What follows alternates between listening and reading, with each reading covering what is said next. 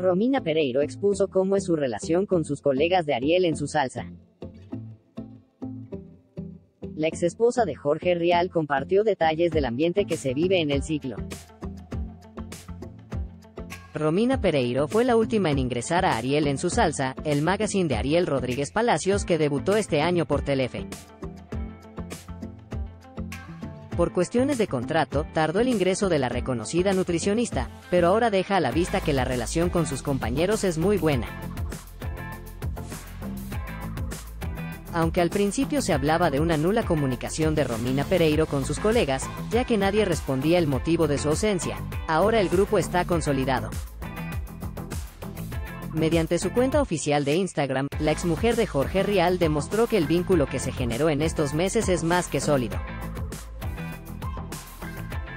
A pesar de que se ven toda la semana, el staff del ciclo de todas las mañanas se juntó este domingo como si fuera una gran familia. A poco de que termine el año, Romina Pereiro y sus colegas disfrutaron de un almuerzo junto a sus familias. Estuvieron Ariel y su hijo Felipe Rodríguez Palacios, Javier Fernández, Nicolás Peralta, Mica Viciconte, Fabián Cuero y sus hijas Alegra e Indiana. Por supuesto, también fue Luca Cubero, a quien Romy cargó en sus brazos con mucho amor y paciencia para hacerlo dormir. Hay equipo. El domingo en familia del equipo de Ariel en su salsa. El festejo de Romina Pereiro.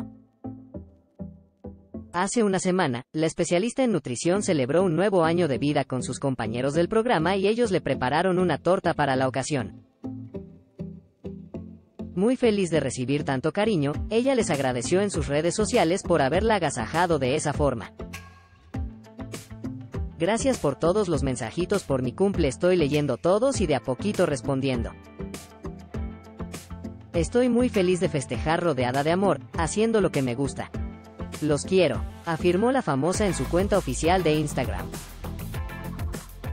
Además, Pereiro hizo un festejo más multitudinario en su propia casa, en donde también invitó a sus colegas de Ariel en su salsa.